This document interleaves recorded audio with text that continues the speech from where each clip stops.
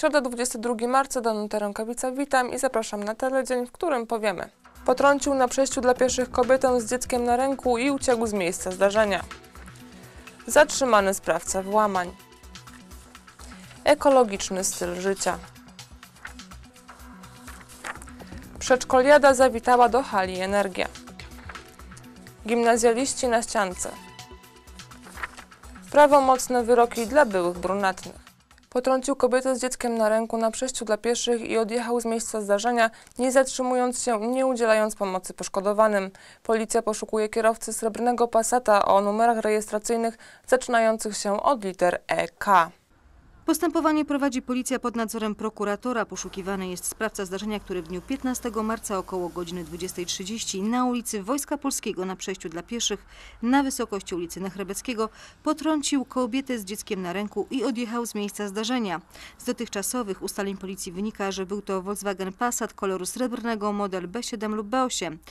W tym zdarzeniu ucierpiała kobieta, dziecku nic się nie stało. Policja prosi o pomoc każdego, kto mógłby pomóc w ustaleniu personaliów kierowcy.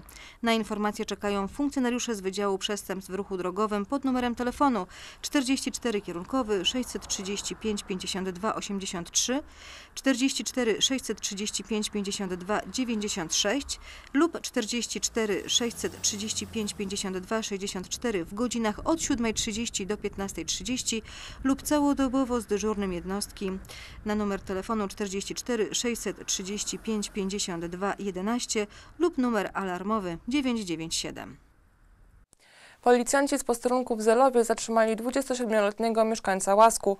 Mężczyzna usłyszał zarzut wielokrotnego włamania się i plądrowania altan w ogródkach działkowych. Łupem sprawcy padły głównie elektronarzędzia wykorzystywane w ogrodach. Działkowcy włamania i kradzieże zgłaszali w okresie od 5 do 17 marca. Łącznie straty oszacowano na 3000 zł. W toku postępowania funkcjonariusze wytypowali potencjalnego sprawcę. Okazał się nim 27-letni mieszkaniec Łasku. Funkcjonariusze podczas przeszukania wynajmowanego przez mężczyznę mieszkania odnaleźli skradzione przedmioty. 27-latek usłyszał zarzut włamania i kradzieży, za co grozi nawet do 10 lat pozbawienia wolności. Prokurator wobec niego zastosował dozór policyjny. To już czwarta edycja prozdrowotnego programu profilaktycznego pod hasłem Ekologiczny styl życia, finansowanego przez Bełchatowskie Starostwo. Tysiąc osób w ramach projektu zostanie profilaktycznie przebadanych i skonsultowanych z dietetykiem. Już ruszyły zapisy chętnych. W myśl porzekadła lepiej zapobiegać niż leczyć powiat przeznaczył 100 tysięcy złotych na profilaktykę. Osoby, które wezmą udział w programie będą miały zbadany poziom cholesterolu, cukru, elektrolitów, poziom hormonów tarczycowych. Będą również skonsultowani z dietetykiem.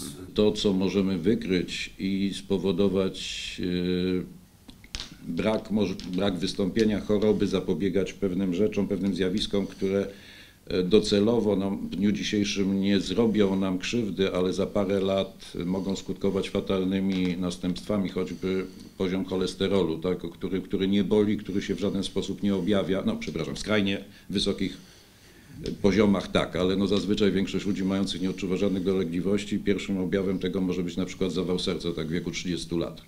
Dlatego e, program jest dedykowany przede wszystkim ludziom zdrowym e, i oby wszyscy mieli wyniki ok, natomiast e, osoby, które się, szczególnie osoby, które się nigdy nie badały, mają no niepowtarzaną jakby okazję skorzystania z tego i oceny swoich perspektyw życiowych bo można opóźnić wiele procesów chorobowych poprzez profilaktykę. Z badań warto skorzystać. Oferta skierowana jest do tych osób, które nie korzystały z poprzednich edycji. Ja zachęcam do udziału w tym programie, ponieważ y, jest możliwość bezpłatnych badań.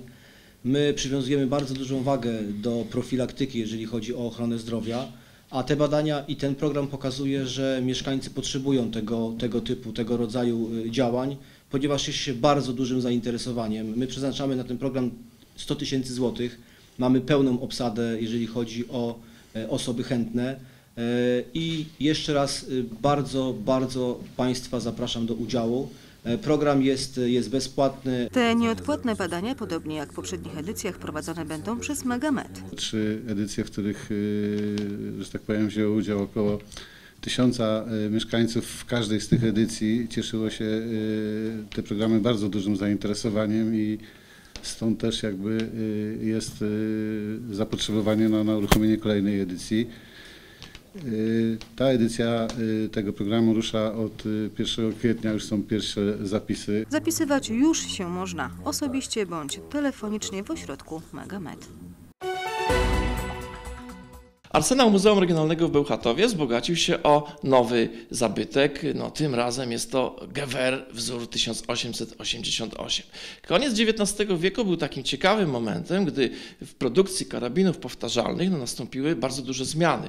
Postęp technologiczny wprowadził bowiem proch bezdymny i pierwsi, jednymi z pierwszych byli Francuzi, konstrukcja y, konstruktora słynnego francuskiego Lebela, która wprowadziła właśnie ten proch bezdymny. Czym on się różnił od tego prochu czarnego? No tym, że przede wszystkim miał dużo większe właściwości miotające, a więc można było y, zbudować nowy nabój do karabinu, zmniejszyć kaliber i osiągnąć dużo lepsze rezultaty. Francuzi zatem wprowadzili karabin Lebela i był to szok dla całej zmilitaryzowanej Europy, bo przecież końcówka XIX wieku to się wszyscy już przygotowywali do I wojny światowej. E, No, najbardziej zszokowani byli militaryści niemieccy. Oni to bowiem natychmiast uruchomili e, konstruktorów, aby zbudować coś, co będzie e, no, porównywalne z karabinem Lebela na proch bezdymny. I mieli wspaniałego konstruktora Paula Mausera, ale Mauser chwilowo popadł w niełaskę. W związku z tym powołano komisję. Komisję złożoną z kilku konstruktorów. Wiadomo, gdzie kucharek 6, tam nie ma co jeść. W związku z tym konstruktorzy przez pół roku stworzyli tenże oto Gewehr 88, y, no z wieloma niedociągnięciami. Mimo to była to bardzo udana konstrukcja, a Paul Mauser y, cieszył się, ponieważ jego rozwiązania także w tej konstrukcji zostały uwzględnione. Y, Wyprodukowano na wstępie około 3 milionów Gewehr 88, zarzucając tym właściwie magazyny armii, y, armii y, niemieckiej, ale y, zaczęto też myśleć co dalej, ponieważ się okazało, że no, te niedociągnięcia są dosyć spore. No i wtedy przeproszono się z Paulem Mauserem, poproszono go jeszcze raz o y, współpracę i na bazie Gewehr 88 powstał legendarny Gewehr 98, który y, przez wiele dekad XX wieku, a nawet i do dzisiaj jest używany w niektórych częściach y, naszego, y, naszego globu. Ta historia karabinu powtarzalnego, zwanego często Mauserem komisyjnym, jest dla Muzeum Regionalnego ważna o tyle, że jest to taki praojciec wszystkich właściwie Mauserów. Potem już powstawały te konstrukcje, były jak gdyby powtórzeniem wielu rozwiązań, które tutaj, tutaj zostało uwzględnionych. Gewehr wzór 88, zwany też Mauserem komisyjnym, który y, na stałe będzie już y, do zobaczenia w Muzeum Regionalnym w Bełchatowie, jest y, ciekawy chociażby z tego względu, że wyprodukowany w Gdańsku, tutaj mamy taką piękną piękną grawerkę właśnie fabryki gdańskiej i numer jego, numer y, produkcyjny, a sama broń jest w bardzo dobrym stanie, y, znakomicie się przeładowuje, posiada magazynek pudełkowy, jest bardzo wygodny w mierzeniu, y, kolba jest znakomicie wyprofilowana, no takie Taka, taka ciekawa konstrukcja przejściowa, która, no, jak powiedziałem, miała olbrzymi wpływ na rozwój karabinów powtarzalnych y, w wieku, wieku XX. Cieszę się bardzo, że Muzeum Regionalne stać było na zakup y, tak wspaniałej y, broni i która będzie dla wszystkich zwiedzających dostępna i chętnie tutaj specjaliści od militariów pewnie będą zaglądać, a zachęcam do tego, gdyż myślę, że nie jest to ostatni zakup, że w tej dziedzinie będziemy tutaj się rozwijać. Rzecz o wyćwiertelaniu, dlaczego dorośli nie mogą latać oraz Karczma pod Białym Łabędziem to tytuły spektakli, które będzie można obejrzeć w MCKPG Giganty Mocy w związku z obchodzonym Międzynarodowym Dniem Teatru. Dwa spośród trzech spektakli to propozycje bełchatowskich grup teatralnych, trzeci Karczma pod Białym Łabędziem to propozycja teatru Animagia. Po raz 61 obchodzony jest Międzynarodowy Dzień Teatru na całym świecie E, i również e, to święto to jest święto Miejskiego Centrum Kultury, dlatego że działa u nas wiele grup teatralnych, e, które co roku przygotowują nowe spektakle i chcielibyśmy się również tym świętem podzielić z mieszkańcami. Stąd oferta aż trzech spektakli związanych z obchodami tego dnia. E, 27 zapraszamy na spektakl Rzecz o wyćwiertalaniu grupy PKP BAT. E, Następnego dnia, 28, e, z kolei sztuka dla dorosłych e, i również przedstawiona przez BAT Grupa Dorosłych.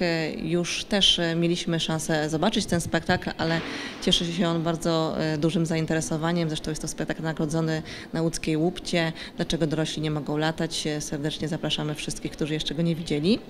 Natomiast na podsumowanie obchodów Dnia Teatru zapraszamy 1 kwietnia na te, spektakl Teatru Animagia. Na rzecz o wyćwiertalaniu MCK zaprasza 27 marca o godzinie 18. Jest to jedyny spektakl w ramach Dni Teatru, na który obowiązywać będą bilety w cenie 8 zł. Na pozostałe dwa, dlaczego dorośli nie mogą latać, który zaprezentowany zostanie 28 marca o godzinie 19 oraz na Karczmę pod Białym Łabędziem wystawionym 1 kwietnia o godzinie 18. Wstęp jest wolny. 400 bełchatowskich aktywnych przedszkolaków opanowało dziś halę Energia. Zawody zostały zorganizowane w ramach cyklu Przedszkoliada Tour. Grupa Azoty Przedszkoliada Tour Bełchatów 2017 za nami. W zawodach wzięło udział 400 przedszkolaków z naszego miasta i okolic. Zmagania zostały podzielone na dwie tury po 200 uczestników w każdej. Ogólnopolski cykl zawodów ma na celu głównie rozrywkę ruchową najmłodszych, ich wszechstronny rozwój ruchowy, zapobieganie otyłości i zaznajamianie się ze sportem od najmłodszych lat. Tego dnia hala Energia była podzielona na 7 sektorów, a każdy z nich otwierał przed przedszkolakami inne możliwości sportowe w zakresie m.in. piłki nożnej, piłki ręcznej czy siatkówki. Każda stacja miała również swojego trenera. W wydarzeniu wzięli udział zawodnicy grup młodzieżowych EKS Skry, trener jej juniorskiej drużyny Radosław Kolanek, trener Bełchatowskiego Klubu Lekkoatletycznego Andrzej Skarba, czy też trenerzy Piłkarskiej Akademii Soccer Jacek Popek i Edward Cecot. Dzieci bardzo chętnie brały udział w przygotowanych dla nich konkurencjach, świetnie odnajdując się przy kolejnych nowych zadaniach. Wszystkiemu towarzyszyła oprawa artystyczna, a na koniec na wszystkich czekały pamiątki przedszkoliady. W środę odbyły się Mistrzostwa Bełchatowa we wspinaczce na czas w kategorii gimnazjum. Do rywalizacji na ściance w hali Energia przystąpili uczniowie dwóch bełchatowskich szkół, publicznego gimnazjum nr 1 i publicznego gimnazjum nr 2. Podobnie jak przed tygodniem w przypadku szkół podstawowych, zawodnicy rywalizowali w konkurencji wspinaczki na czas w formacie klasycznym.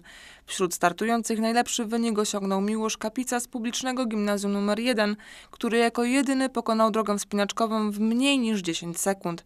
Drugi wśród startujących był Jakub Czajka, trzeci Kacper Broś, obaj reprezentujący publiczne gimnazjum nr 2.